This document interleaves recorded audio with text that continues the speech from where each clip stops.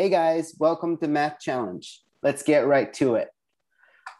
So a lot of you guys in school probably learned that in an addition equation to write your answer on the right-hand side of the equal sign. So for example, you may have tried something like five plus three equals eight and quickly realized that something wasn't working. So in this problem, let's take a look at the equal signs here. There's two equal signs that bind the equation together, which means that it creates three groups. So this is the first group.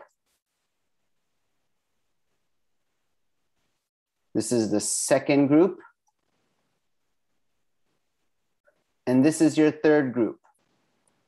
So in this problem, we wanna make sure that the answer for group one equals group two and also group three. Now let's talk about the hint and the overall idea first. So if we add all the numbers from one through eight up, we know that the total is equal to 36. Because we separated them out into three groups, we can also then say that group one added to group two added to group three also equals 36. That means that we can take the 36 and divide it by three to get 12 we now know that each group's total must equal 12.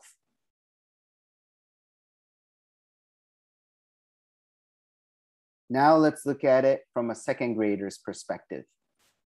A quick tip to remember here is you can always uh, add it from outside to in when you're adding numbers in consecutive order. What I mean by that is that eight and the two can be grouped together to make a 10. The 7 and the 3 make another 10. 6 and the 4 make another 10. We have a 5 plus 1 left, which gives us a 6. And that can also be separated out into three groups of 2. So by adding the, the 10 and the 2 together, we know that each group sum must equal 12. From there, the answer is pretty straightforward. 7 and 5 gives us 12. 8, 3, and 1. And 6, 4, and 2. Comment below if you found another answer to this problem. Stay tuned for the joke of the day coming right up. And please hit the like button if you enjoyed this math problem.